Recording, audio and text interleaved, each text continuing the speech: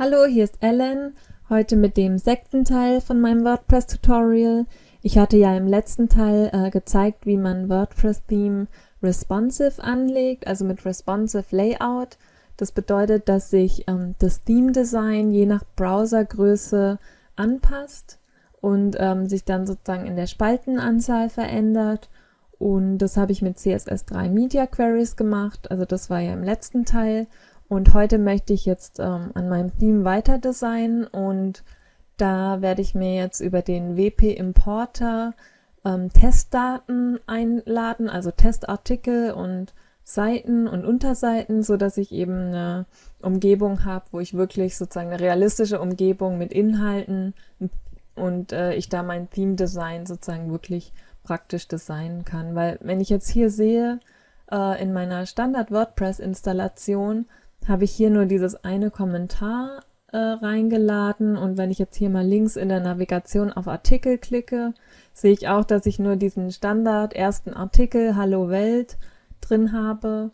Äh, auch wenn ich jetzt hier auf das Frontend gehe, sehe ich auf meiner Stadtseite nur diesen einen Artikel und auch in der Sidebar ist nicht wirklich viel Inhalt, also da ist nur Kategorien und Archiv und hier in der zweiten Sidebar die Blockroll. Also da möchte ich mir jetzt einfach mehr Inhalt reinladen, um damit arbeiten zu können. Das könnte ich natürlich zum einen manuell machen, also dass ich mir selber Artikel, Texte reinschreibe oder mit Lorem Ipsum arbeite, also diesem Blindtext. Aber da gibt es ein ganz praktisches, vorbereitetes Tool, dieser Theme Unit Test. Hier auf der WordPress.org Webseite im Codex findet man den. Äh, den Link zu dem Theme Unit Test werde ich aber auf jeden Fall auch noch im Artikel mit angeben. Und wenn man jetzt hier auf der Seite ein bisschen runter scrollt, unter Text Environment Setup, also unter diesem äh, Infofeld, was sozusagen alles in diesen Testdaten beinhaltet ist, findet man den Link hier auf diese XML-Datei. Und das kann man sich einfach mit Linkspeichern unter auf seinen Computer installieren, lokal. Also das habe ich jetzt hier mal schon vorbereitet, diese Testdaten in der XML-Datei und im nächsten Schritt ähm, möchte ich die jetzt in meine WordPress-Installation die Daten eben einladen, also importieren. Und da gibt es hier im Admin-Bereich diesen Bereich Werkzeuge. Und da finde ich den Punkt Daten importieren. Den klicke ich jetzt mal an. Und dann wähle ich hier den untersten Punkt WordPress aus und über den Punkt kann ich mir jetzt dieses Plugin äh, WP Importer, also WordPress Importer installieren. Mm, das wähle ich jetzt mal hier aus. Dann installiert es das schon automatisch im Admin-Bereich. Und dann wähle ich hier gleich als nächsten Punkt Plugin aktivieren und Import starten aus. Und jetzt komme ich hier zum, komme ich hier jetzt zu diesem äh, Importbereich und da kann ich mir jetzt eben meine XML-Datei auswählen.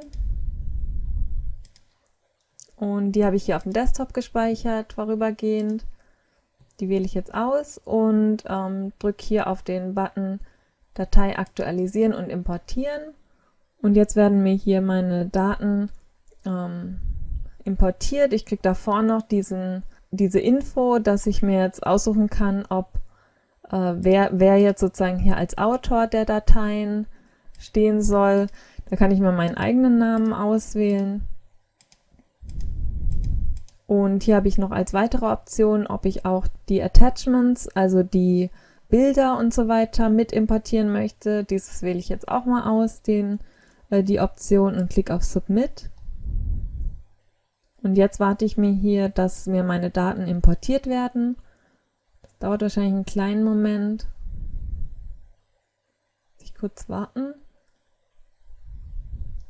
Und dann müssten hier meine Artikel und äh, Kategorien und Schlagwörter und alle möglichen Daten ähm, eben importiert werden. Also sobald jetzt hier die Daten fertig importiert sind, kommt dann hier die Nachricht All done, have fun. Dann gehe ich jetzt hier mal auf meine Artikel im Admin-Bereich und schaue mal, ob ich da wirklich jetzt mehrere Artikel drin habe. Und da sehe ich jetzt schon, dass alle ähm, Testdaten importiert wurden. und ich die verschiedensten Artikel zum Testen jetzt hier in meiner WordPress-Installation, meiner lokalen Installation drin habe. Wenn ich jetzt mal auf den Frontend gehe und Refresh drücke, sehe ich jetzt hier auch, also es sieht jetzt nicht besonders schön aus, aber es erfüllt seinen Zweck. Also hier habe ich mein Menü mit ähm, einigen Seiten und Unterseiten und äh, mehrere Artikel jetzt auch in meinem Content-Bereich und auch Fotos. Also das sind jetzt hier alles nur so Testbilder.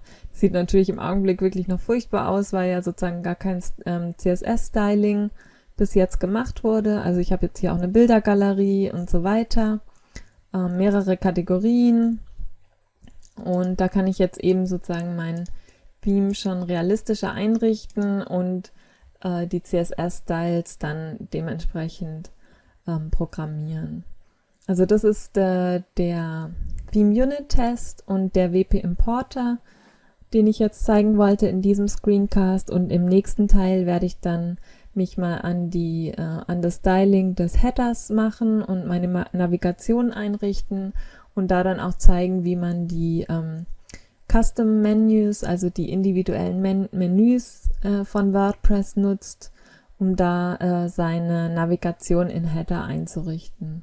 Und natürlich ein Logo und dann werde ich auch noch gucken, dass ich äh, jetzt mein individuelles Header-Bild dann noch als Option im WordPress integriere. Das habe ich ja bis jetzt auch noch nicht gemacht.